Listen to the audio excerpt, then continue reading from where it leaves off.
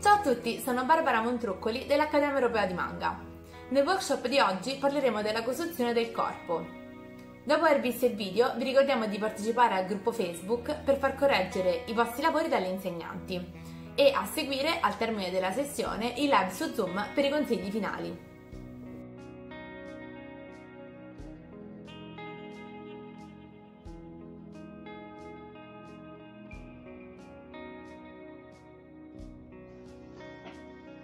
Iniziamo andando ad analizzare come si calcola l'altezza dei nostri personaggi.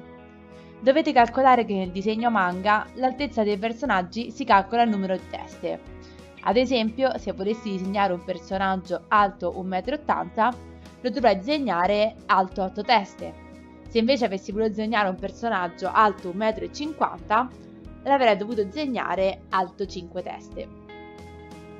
Quindi, come faccio a disegnare un personaggio alto 1,80 m? La prima cosa che dovrò fare sarà andare a disegnare la sua testa, che sarà poi divisa da una linea verticale e andrò a riportare su questa linea la sua testa per altre 7 volte.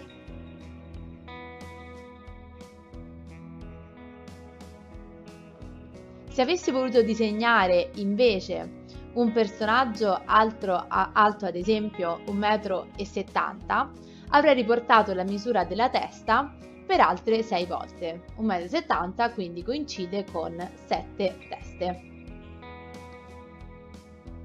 Quindi eh, traccio una linea verticale che divide la testa a metà e riporto la testa per altre 6 volte, in modo tale da ottenere 7 fasce.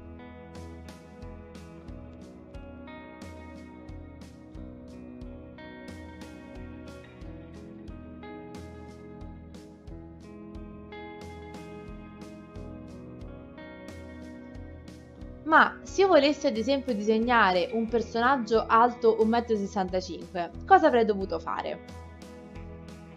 In questo caso eh, le teste da calcolare sarebbero state 6,5. Quindi dopo aver disegnato 7 fasce avrei preso la settima fascia e l'avrei divisa a metà, cancellando la porzione più bassa in modo tale da ottenere 6 fasce e mezzo.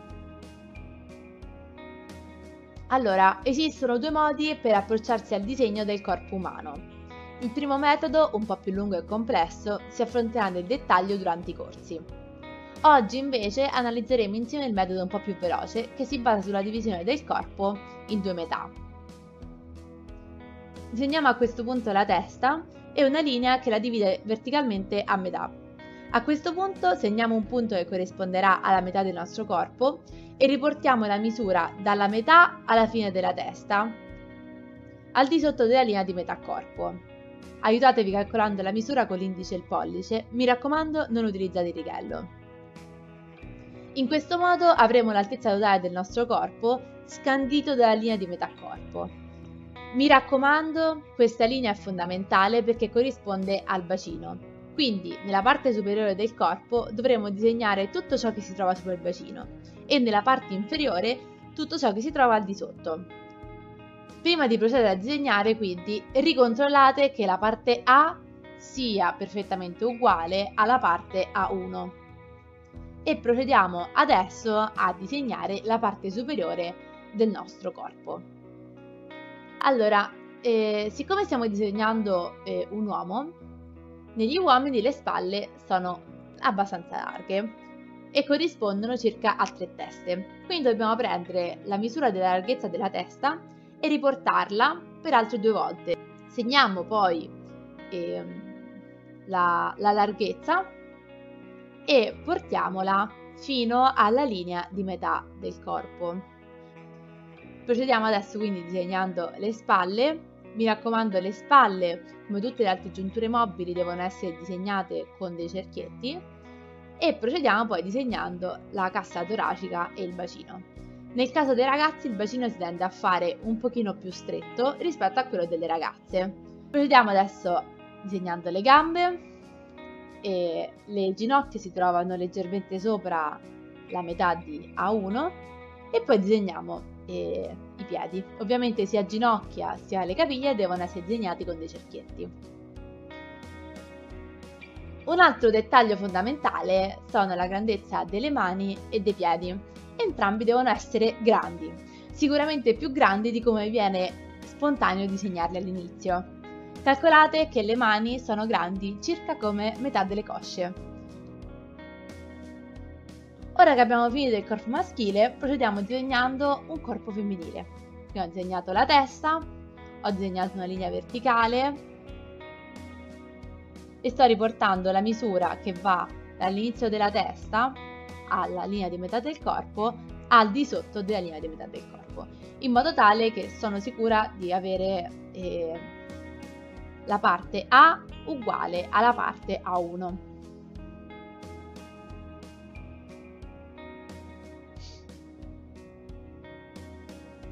Bene, a questo punto che mi sono assicurata che le due parti siano uguali, procedo disegnando lo stickman della ragazza.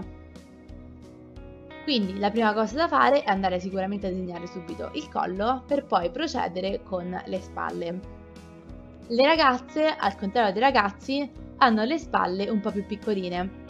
Infatti non misurano tre teste, bensì ne misurano due.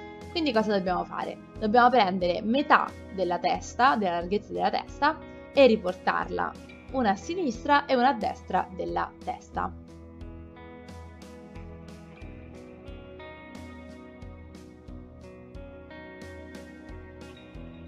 Una volta che avrò quindi eh, tracciato questa, questa larghezza, la riporto fino alla linea di metà del corpo perché come per i ragazzi anche questa ci servirà per andare a disegnare bene i fianchi.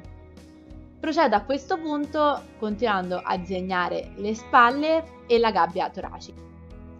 Mi raccomando quando disegnate il corpo delle ragazze ricordatevi che ricorda la forma di una clessidra, quindi stringetelo sulla vita e allargatelo sui fianchi. I fianchi sono larghi quanto le spalle. Procediamo con le gambe anche in questo caso le ginocchia sono leggermente sopra la metà di A1. Nel caso delle ragazze si tende a posizionare le ginocchia anche un pochettino più in alto per dare l'idea che le gambe siano più slanciate. Disegnate piedi grandi e le mani che stese arrivano a metà delle cosce. Ora che abbiamo disegnato gli stickman di entrambi i personaggi, possiamo procedere con eh, con il disegnare i volumi sopra gli scheletri. In questo caso, mi raccomando, eh, per disegnarli potete o andare a disegnare direttamente sopra lo stickman oppure prendere un foglio e posizionarlo sopra a quello dello stickman in modo tale da non confondere troppo le linee.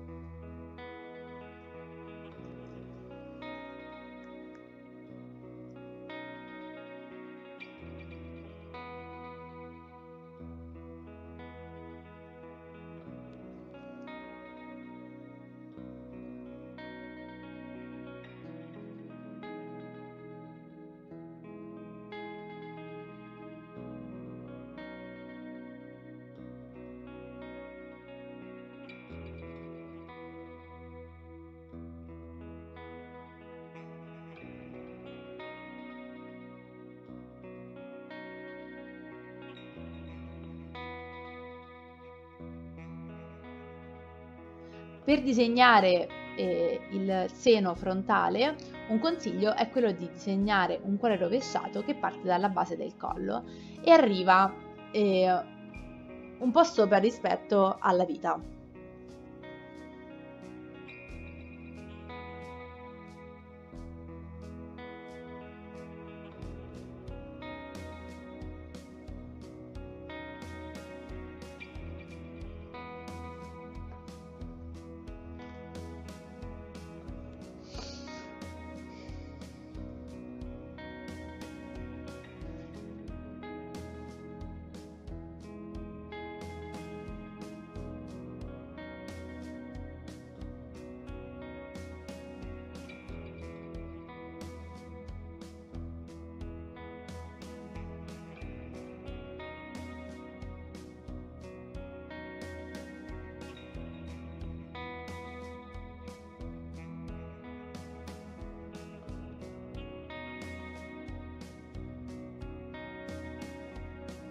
Allora, ovviamente una volta disegnati e una volta capito questo schema, possiamo procedere disegnando il corpo sia eh, di profilo sia di tre quarti. Potete magari provare anche un pochettino a muoverlo, magari facendo camminare i personaggi o facendogli alzare leggermente le braccia.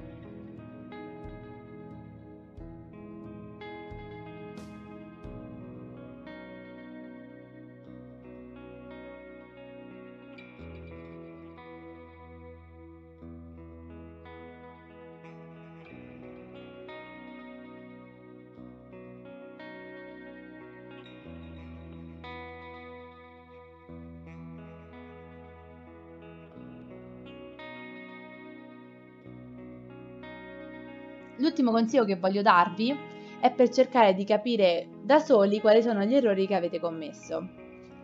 Prendete il foglio, giratelo e guardatelo contro luce, magari in prossimità di una finestra.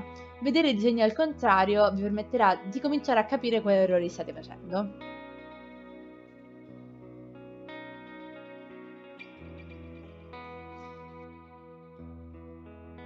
Per questo video è tutto, venite a farci vedere i vostri disegni sul gruppo Facebook in descrizione.